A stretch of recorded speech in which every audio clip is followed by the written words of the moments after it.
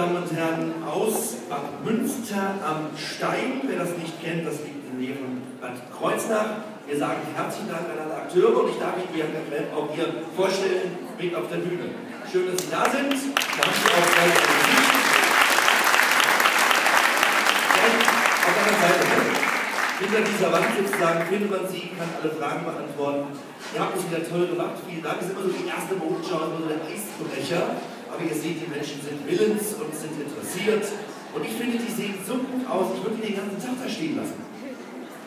Aber es kommen noch andere, die wirklich dann in den Füßen stehen nachher. Das hat keinen Sinn. Vielen herzlichen Dank an euch. Und äh, ihr seid ja auch nochmal dran. Dann wollen wir so bei 15 Uhr. Dankeschön an euch. Vielen Dank an die junge Dame. Ich weiß gar nicht, wo die zweite war. Haben Sie die verloren? Irgendwo unterwegs? Oder? Oh, also wenn natürlich äh, eine junge Dame mal eine, eine sozusagen Notdurft zu erledigen hat, dann wissen wir Männer, da gibt es kein Halten. Auch in diesem Alter wird es dann einfach nicht so sein. Sie können, meine Damen und Herren, wenn Sie möchten, eigentlich Ihre Plätze nahezu behalten, denn wir